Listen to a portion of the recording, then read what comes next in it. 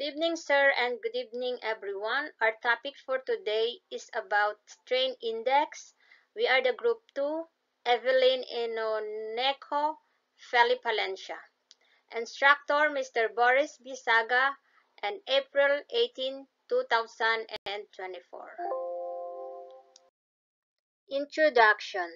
In this analysis, the focus in the manual handling task of lifting and moving boxes within the warehouse setting, the strain index, a semi-quantitative ergonomic tool, will be utilized to evaluate the ergonomic risk linked to these activities or job.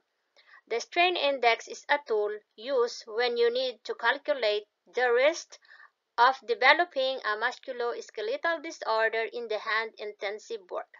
Repeated tasks in the hands can lead to the level of discomfort in the hands, wrist, and elbow.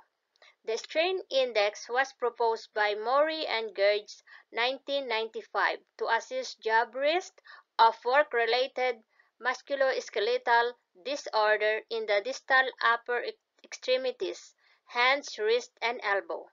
It was developed using existing knowledge of biomechanical, biomechanic physiolo physiology and epidemiology and used to assist job, not a person.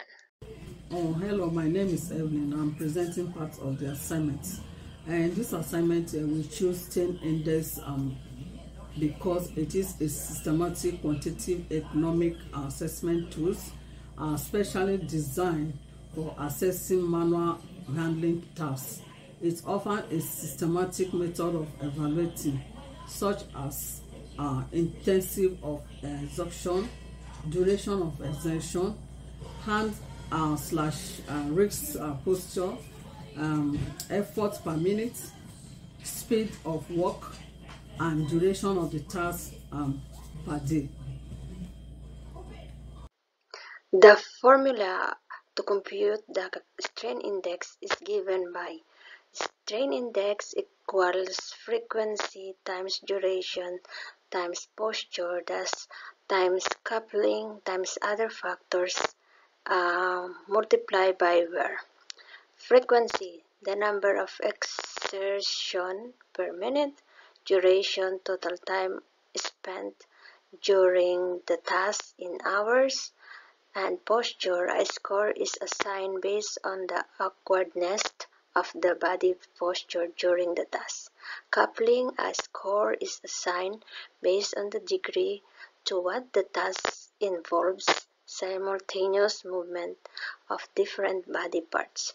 Other factors, additional factors that contribute to the overall strain such as force exerted and duration of recovery period. Each component is assigned a score based on predetermined criteria, and the score are then multiplied together to obtain the final strain index score. This score is used to categorize the ergonomic risk level associated with a task with higher score indicating a greater risk of musculoskeletal injury.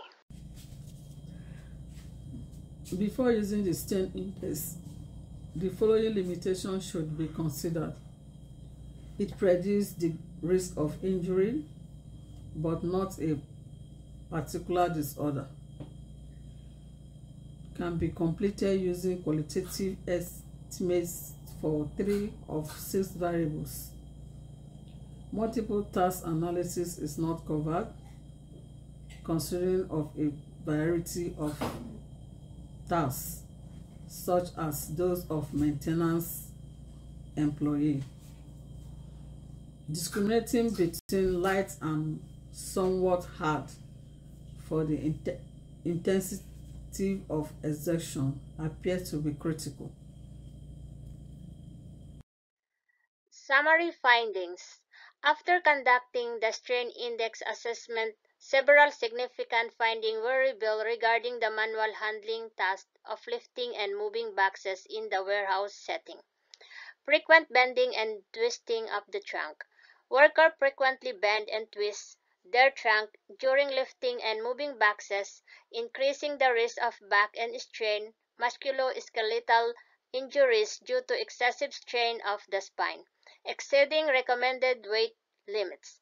Back's weight exceeds safe lifting limit, causing high physical exertion and risk of back injury. Adjustment in load management and mechanical lifting aids needed. Repetitive hand uh, movement and gripping. Repetitive hand movement and gripping in the backs can cause fatigue and strain, increasing the risk of repetitive injuries like carpal tunnel syndrome. Ergonomic handle or paddle gloves can alleviate strain. High frequency of lifting and moving High frequency of lifting and moving boxes increases ergonomic risk factors and muscular dis uh, disorder. Job rotation and frequent rest breaks can reduce this effect on workers' health. Recommendations based on analysis. Based on the analysis of manual box lifting and moving tasks in a warehouse environment, we propose these recommendations to improve economic conditions and minimize injury risk. 1. Implement mechanical lift aids. Incorporate equipment like forklifts, pallet jacks, or conveyors to reduce manual lifting and alleviate strains on workers' back. By utilizing these aids, heavy loads can be handled more efficiently, reducing physical um, exertion and lowering the risk and likelihood of musculoskeletal injuries or disorders. Provide training on proper lift techniques workers should be educated or educate on appropriate lifting method and ergonomic postures. Emphasize on the importance of using um, leg muscles instead of the back and maintain a neutral spine alignment while lifting or while lifting or transporting any item in the warehouse. 3. Modify warehouse layout. Adjust warehouse layout. Position heavier items at waist level and streamline workflow procedures for efficiency and reduce lifting tasks. Rotate work workers between tasks implement a job rotation system, flexible schedule, ensure that workers are alternate between um, each task in order to uh, reduce overexertion and improve economic economic conditions in manual lifting tasks. This reduce work-related injuries and promote health and safety in the work in the warehouse environment. Conclusion. In conclusion, the research underscore the urgent necess necessity for the measure to alleviate the ergonomic risks associated with manual box lifting and transportation in the warehouse the adoption of strategies such as ergonomic training, the use of mechanical lifting aids, load management adjustment, and scheduled rest period can reduce the hazard and enhance a worker well-being.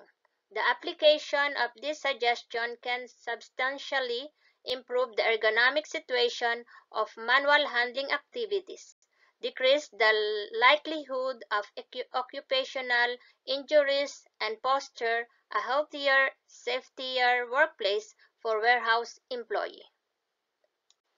Thank you for listening and Hope you like and understand our presentation for today.